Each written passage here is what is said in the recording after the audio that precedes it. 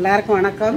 இன்றைக்கி நம்ம வீடியோவில் என்ன பார்க்க போகிறோம்னா கொலக்கட்டை வீடியோ தான் பார்க்க போகிறோம் ரொம்ப நாளாக ராஜேஷ் கண்ணா அப்படிங்கிறவங்க கேட்டுக்கிட்டே இருக்கிறாங்க. அம்மா எனக்கு கொலக்கட்டை வீடியோ செஞ்சு காட்டுங்க.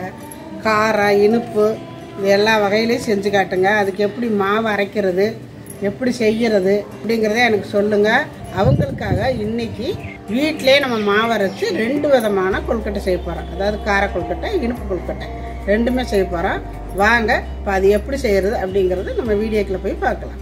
இன்னைக்கு நைட்டு பன்னெண்டு மணியோட நம்மளுடைய கிவவே வீடியோ முடியுது. நீங்கள் இதுவரையில் கமெண்ட் பண்ணாதவங்க கமெண்ட் பண்ணிடுங்க இந்த கிவேவையோட வின்னர்ஸ் யார் அப்படிங்கிறத வர்ற ஞாயிற்றுக்கிழமை அன்னைக்கு பார்க்கலாம். ஐயோ ரெக்கார்ட் அந்த மறந்துட்டு இப்போ கொலக்கட்டைக்கு பச்சரிசி அதாவது எங்கள் வயல் அரிசி தான் பச்சை அரிசி எடுத்துருக்குறேன். முக்கால் கிலோ எடுத்து ஒரு மணி நேரம் ஆச்சு ஊற வச்சுருக்கிறேன். நல்லா கழுவிட்டு ஊற வச்சுருக்கிறேன். பாருங்கள் இப்போ இதை மறுபடியும் கழுவிட்டு கொஞ்ச நேரம் நல்லா பேன் காற்றுல உணர விடணும். அப்போ தான் நம்ம அரைக்கிறதுக்கு நல்லாயிருக்கும் இப்போ இதை நம்ம கழுவிக்கலாம். இப்போ நம்ம அரிசியை நல்லா கழுவிட்டு தண்ணியெல்லாம் இருத்து விட்டுட்டு கொண்டு வந்துட்டேன். இங்கே ஒரு காட்டன் துணி விரிச்சிருக்கிறேன் இதில் நம்ம அரிசியை லைட்டாக அப்படி உணர்த்தி விட்டுக்கலாம்.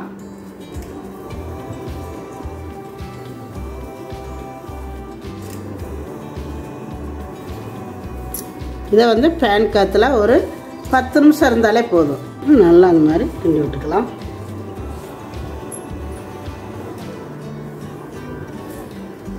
ஒரு பத்து நிமிஷம் இருக்கட்டும். இப்போ பாருங்கள் நல்லா உணர்ந்துருச்சு. பத்து நிமிஷம் தான் ஆச்சு. இந்தா இப்படி இருக்கணும். இந்த மாதிரி இருந்தால் தான் நல்லாயிருக்கும் இப்போ இதை எடுத்துக்கலாம். இப்போ நம்ம அரிசியெல்லாம் அள்ளிட்டு வந்தாச்சு. இப்போ இதை நம்ம மிக்சி சாரில் போட்டு அரைச்சிக்கலாம் கொஞ்சம். கொஞ்சமாக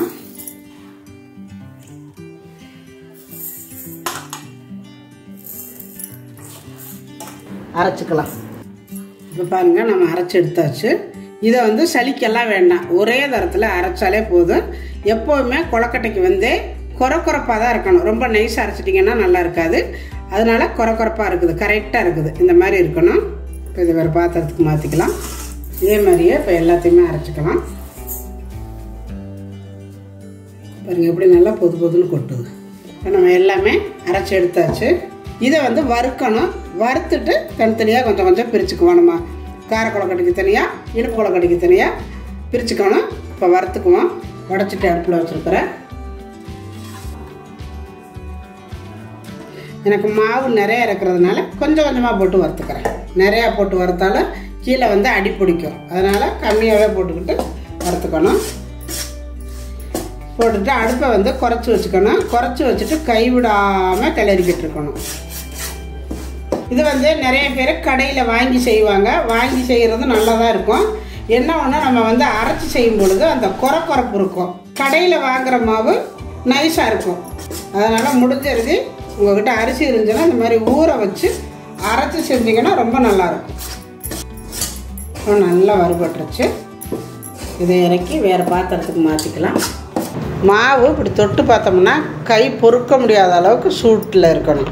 அப்போ கரெக்டாக இருக்கும். எடுத்துக்கலாம். இப்போ பார்த்தீங்கன்னா மாவு வறுத்தாச்சு. வறுத்துட்டு தனித்தனியாக எடுத்து வச்சுருக்கிறேன். இது வந்து கார கொலக்கட்டைக்கு இது இனிப்பு கொலக்கட்டைக்கு இனிப்பு கொலக்கட்டை வந்து ரெண்டு மூணு நாள் ஆச்சுன்னா ரொம்ப நல்லாயிருக்கும் இது வந்து உடனே சாப்பிட்றலாம் இன்றைக்கி சாப்பிட்டுட்டு காலையில் கூட மறுநாள் கூட சாப்பிட்டுக்கலாம். அதனால் நான் இனிப்பு கொலக்கட்டைக்கு கொஞ்சம் மாவு கூட எடுத்து வச்சுருக்கிறேன். கார கொலக்கட்டைக்கு கொஞ்சம் கம்மியாகவே எடுத்து வச்சுருக்கிறேன். இப்போ இனிப்பு கொலக்கட்டைக்கு வந்து நான் கரும்பு சக்கரை தான் எடுத்துருக்கிறேன். உங்கள்கிட்ட என்ன இருக்குதோ அதை சேர்த்துக்கோங்க. என்கிட்ட கரும்பு சக்கரை நிறையா இருக்கிறதுனால கரும்பு சக்கரை எடுத்துருக்கிறேன். இது வந்து இரநூறு கிராம் எடுத்துருக்கிறேன். இந்த கப்பால் ரெண்டு கப்பு மாவுக்கு முக்கால் கப்பு வெள்ளம் எடுத்துருக்கிறேன். ஒரு பாத்திரத்தில் போட்டு நம்ம பாவு கச்சிக்கலாம் இதுக்கு வந்து தண்ணி நிறைய வேண்டாம் கம்மியாகவே ஊற்றிக்கோங்க நம்ம கொஞ்சம் வெதிச்சு வெள்ளத்தை சேர்த்துக்குவோம்.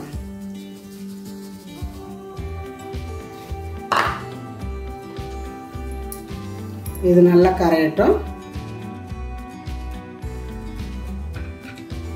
இப்போ இதுக்கு வந்து பாகு பதமெல்லாம் தேவையில்லை. சர்க்கரை உருகுனாலே போதும். இப்போ இதை நம்ம இறக்கிக்குவோம். இன்னொரு பேன் அடுப்பில் வைக்கிறேன். கொஞ்சம் போல் நெய் விட்டுக்கலாம். தேங்காயை வந்து நான் எடுத்து இந்த மாதிரி சின்னதாக பல்லு பல்லாக வெட்டி வச்சுருக்கிறேன். இதை போட்டுக்கலாம். இதை இந்த நெய்யிலேயே நல்லா வறுக்கணும். இந்த தேங்காயை நல்லா வறுத்துட்டோம்னா நம்ம ஒரு வாரத்துக்கு கூட இந்த கொலக்கட்டை இருந்தாலும் கிடவே கிடாது. ரொம்ப நல்லாயிருக்கும் அதனால் இப்போ நெய்யிலே நல்லா வறுத்துக்கலாம். கொஞ்சம் போல் தேங்காய் சிறைவி வச்சுருக்கிறேன். இப்போ இதுவும் கொஞ்சம் சேர்த்துக்கலாம்.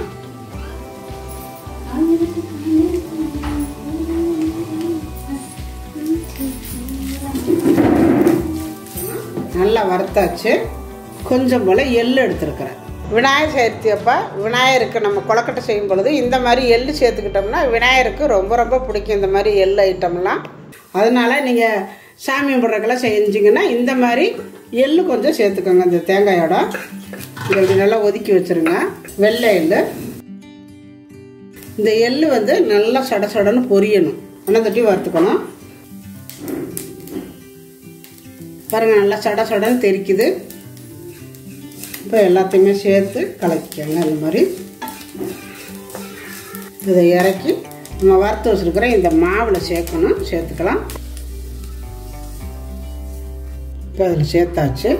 அதே பேனை மறுபடியும் அடுப்பில் வச்சுருக்கிறேன். இது வந்து கார கொழுக்கட்டைக்கு இதில் கொஞ்சம் எண்ணெய் விட்டுக்கலாம். எண்ணெய் காஞ்சதும் கொஞ்சம் போல் கடுகு. கடுகு வெடிச்சதும் ஒன்றரை ஸ்பூனு கடலைப்பருப்பு. கடலைப்பருப்பு செவந்ததும் கொஞ்சம் போல் கருவேப்பிலை பொடியை நறுக்கி வச்சுருக்கிறேன். மூணு பச்சை மிளகாய் நறுக்கி வச்சுருக்கிறேன். ஒரு பெரிய வெங்காயம் நல்லா பொடியாக நறுக்கி வச்சுருக்கிறேன். கொஞ்சம் போல் கொத்தமல்லி தலை நம்ம வட்டி வச்சுருக்கிற கருவேப்பிலை பச்சை மிளகாய் ரெண்டையும் சேர்த்துக்கலாம். வெங்காயத்தை போட்டுக்கலாம்.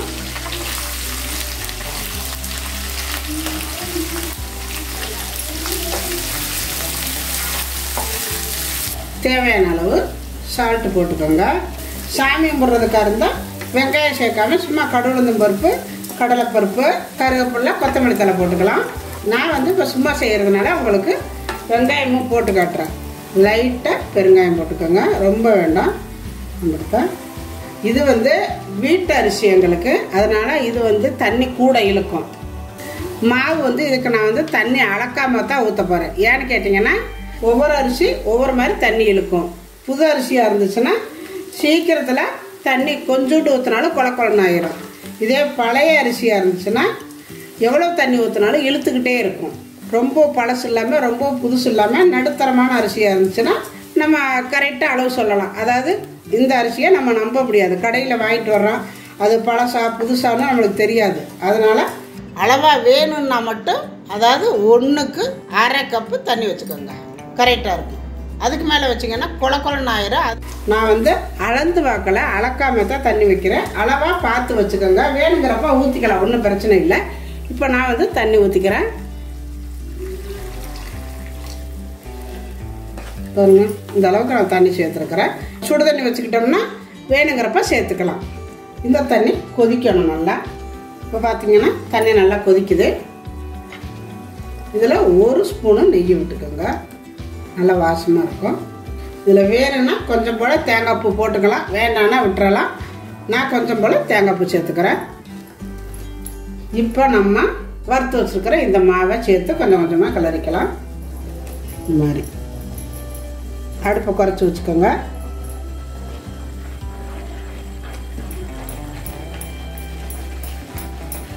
நல்லா கிளறிக்கோங்க. ஏன்னா கொல கொலன்னு ஆயிடக்கூடாது பார்த்துக்கோங்க. அப்பப்போ இந்த மாதிரி இப்படி உங்களுக்கு கெட்டியாக தெரிஞ்சுன்னா கொஞ்சம் போல் சுடு தண்ணி இருந்தால் சேர்த்துக்கோங்க. இல்லைனாலும் பிரச்சனை இல்லை. பச்சை தண்ணி இந்த மாதிரி பச்சை தண்ணி இருந்துச்சுன்னா இந்த மாதிரி கூட ஊற்றிக்கலாம் பாருங்க இப்படி ஊற்றிட்டு நடுவே ஊற்றி விட்டிங்கன்னா அது வாட்டில் ஈஸியாக வந்துக்கும். இது வந்து ரொம்ப கொல கொல கொலன்னு வரணுங்கிறதெல்லாம் இல்லை. இந்த மாதிரி உதிரி உதிரியாக இருந்தாலே போதும். ஏன்னா நம்ம வந்து மாவை வறுத்துட்டோம். இப்போ சுடுதண்ணியில் வேற போட்டிருக்கிறோம். வறுக்கையில் பாதி வெந்துருச்சு சுடுதண்ணிக்கில் பாதி வெந்துருச்சு. அதனால் இனி நம்ம கொலக்கட்டையை பிடிச்சி வைக்கும் பொழுது அப்போ கொஞ்சம் வெந்துடும் அதனால் நீங்கள் பயப்பட வேண்டாம். ரொம்ப தண்ணி போ கூட போயிடுச்சா பத்தலை அப்படிங்கிறதெல்லாம் தேவையே இல்லை. அந்த மாதிரி இருந்தாலே போதும். இப்படி உதிரி உதிரியாக இருந்தாலே நம்ம கொலக்கட்டை பிடிக்கிறதுக்கு கரெக்டாக இருக்கும். கொஞ்சம் போல் கொத்தமல்லி தழை. இதை போட்டுட்டு அடுப்பு ஆஃப் பண்ணிக்கலாம். ஆஃப் பண்ணிவிட்டு இதை நல்லா கிளறி விட்டுக்கோங்க. இந்த பாத்திரத்தில் இருந்துச்சுன்னா உங்களுக்கு சூடாக இருக்கும். வேறு ஒரு பாத்திரத்துக்கு மாற்றிக்கிட்டிங்கன்னா கொலக்கட்டை பிடிக்கிறதுக்கு நம்மளுக்கு ஈஸியாக இருக்கும். இப்போ நம்ம வேறு ஒரு பாத்திரத்துக்கு மாற்றியாச்சு சூடாகவே இருக்குது. இதில் வந்து தண்ணிக்குள்ள உப்பு போட்டிருக்கணும். நான் மறந்துட்டேன் பார்த்தீங்களா நீங்கள் அந்த தண்ணிக்குள்ள உங்களுக்கு இது எந்த அளவுக்கு உப்பு வேணுமோ அந்த அளவுக்கு சேர்த்துக்கோங்க. நான் இப்போ இதில் போட்டு தூவி விட்டுட்டு பண்ணிட்டுக்கலாம். கிளறி விட்டுக்கோங்க சூட்டோடவே. இப்போ உங்களுக்கு எந்த அளவுக்கு மாவு தேவையோ எடுத்து நல்லா இந்த மாதிரி உருட்டிக்கோங்க. இந்த மாதிரி உருட்டி நீங்கள் இட்லி பாத்திரத்தில் வைக்கிறதுனால வைக்கலாம். இல்லை இந்த மாதிரி ஒரு சேமியா பாத்திரம் இருந்துச்சுன்னா அதில் எண்ணெய் தடவிட்டு இந்த மாதிரி கூட நீங்கள் வச்சுக்கலாம். ஒரு பா ஒரு அஞ்சு நிமிஷம் அஞ்சுலேருந்து ஏழு நிமிஷம் வெந்தாலே போதும். ஏன்னா மாவு முக்கால்வாசி வெந்துருச்சு. லைட்டாக வெந்தாலே போதும். இதே மாதிரியே இப்போ எல்லாமே நம்ம கொலக்கட்டை பிடிச்சி வச்சுக்கலாம். நம்ம கொலக்கட்டையெல்லாம் பிடிச்சாச்சு. இட்லி பாத்திரத்தில் தண்ணி காஞ்சிட்டு இருக்குது இப்போ வச்சுக்கலாம். அவ்வளோதான் இப்போ வேகட்டும். ஒரு பத்து நிமிஷம் இருக்கட்டும். இப்போ கொலக்கட்டை வெந்துருச்சான்னு பார்த்துக்கலாம் இப்போ வெந்துருச்சுன்னா தொட்டு பார்த்தீங்கன்னா தெரியும். பாருங்க. நல்லா அமுத்த முடியல.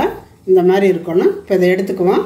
இப்போ பார்த்தீங்கன்னா நம்மளுடைய கார கொலக்கட்டை ரெடி ஆயிடுச்சு எவ்வளோ நல்லா இருக்கு பாருங்கள் ரொம்ப அருமையாக வந்திருக்குது காரக்கொழுக்கட்டை இப்போ இதிலேருந்து நான் ஒன்று எடுத்து உடச்சி காட்டுறேன் பாருங்க எப்படி இருக்குன்னு. நல்லா வெந்து அதாவது நம்ம கையில் நம்மளே அரைச்சதுனால மிக்சியில் நல்லா பொது பொதுன்னு பாருங்கள் எப்படி இருக்கு பாருங்க. அதாவது நம்ம கடையில் வாங்கினோம்னா இந்த மாதிரி இருக்காது. கொஞ்சம் அதாவது கலுக்குன்னு இருக்கும். இது நல்லா பொது பொதுன்னு இருக்கும். நம்ம சாப்பிடும் பொழுது அவ்வளோ நல்லா இருக்கும். எவ்வளோ நொணுங்குது பாருங்க. அதாவது உப்புமா மாதிரி ஆகிரும். நம்ம உடச்சி விட்டோம்னா நல்லாயிருக்கும் இந்த மாதிரி இருக்கான கொலக்கட்டை எவ்வளோ நல்லா இருக்கு பாருங்க. உடைச்சாலே உடையுது பாருங்க. இப்படி இருந்தால் தான் கொலக்கட்டை நல்லாயிருக்கும் சாப்பிட்றதுக்கு. டிஃபனுக்கு பதிலாக இது சாப்பிட்டுக்கலாம். நல்லாவும் இருக்கும். குழந்தைங்களாம் நல்லா விரும்பி சாப்பிடுவாங்க. அதுக்குள்ளார நம்ம வந்து இனிப்பு கொலக்கட்டையை ரெடி பண்ணிக்கலாம்.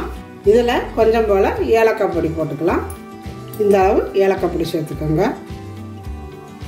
நல்லா ஒரு முறை எல்லாத்தையும் இந்த மாதிரி கலக்கி விட்டுக்கோங்க. இந்த மாதிரி பாருங்க இப்போ எல்லாம் கலக்கியாச்சு. இப்போ நம்ம வச்சுருக்கிற சர்க்கரை பாவு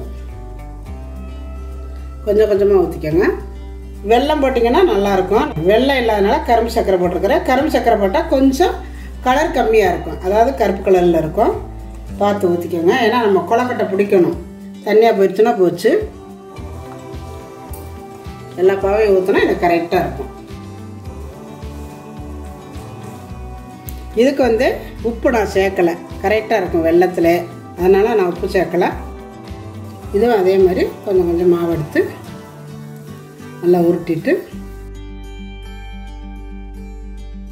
இந்த மாதிரி உருட்டிட்டு நல்லா புடி கொலக்கட்டை மாதிரி இப்படி நல்லா மூணு விரலை வச்சு இப்படி அமுத்திக்கோங்க. ரொம்ப நல்லா இருக்கும். இந்த மாதிரி நல்லா உருட்டிக்கங்க. ஒரு பிளேட்டில் அடுக்கிக்கலாம்.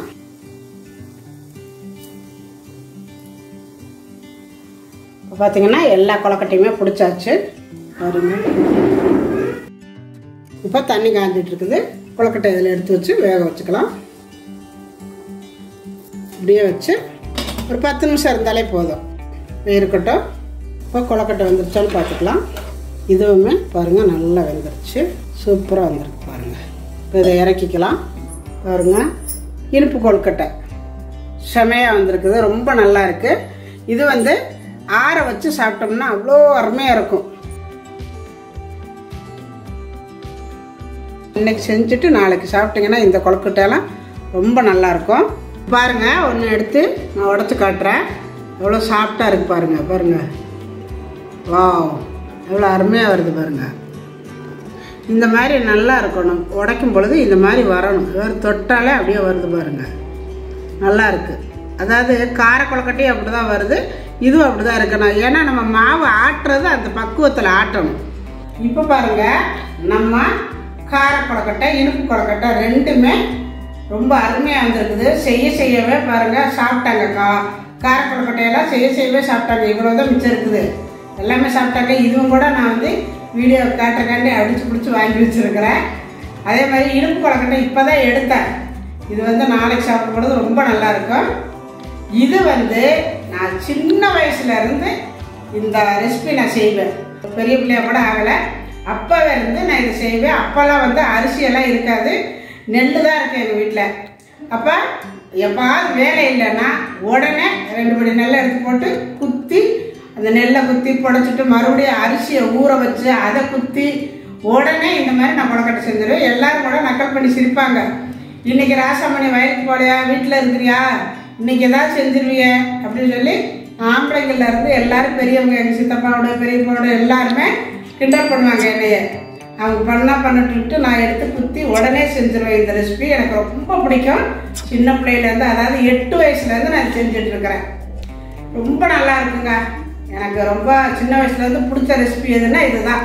நான் வந்து அயில கருவாடு வீடியோ போட்டிருந்தேன். அதை பார்த்துட்டு ஷாக்கருங்கிறவங்க அயில கருவாடு வாங்கி அவங்க செஞ்சு பார்த்தாங்களாமா ரொம்ப நல்லா வந்துச்சுமா சூப்பராக இருந்துச்சுமா அப்படின்ட்டு இருக்காங்க அடுத்து வந்து காரப்பொடி கருவாடு செஞ்சு காட்டுங்கம்மா அப்படின்னு சொல்லியிருக்காங்க. கண்டிப்பாக உங்களுக்காக நான் வந்து காரப்பொடி கருவாடு எப்படி செய்கிறது அப்படிங்கிறத நான் செஞ்சு காட்டுறேன் உங்களுக்கு. நாங்கள் செஞ்ச மாதிரியே கருவாடு நீங்கள் செஞ்சு பார்த்ததுக்கு ரொம்ப ரொம்ப நன்றிப்பா.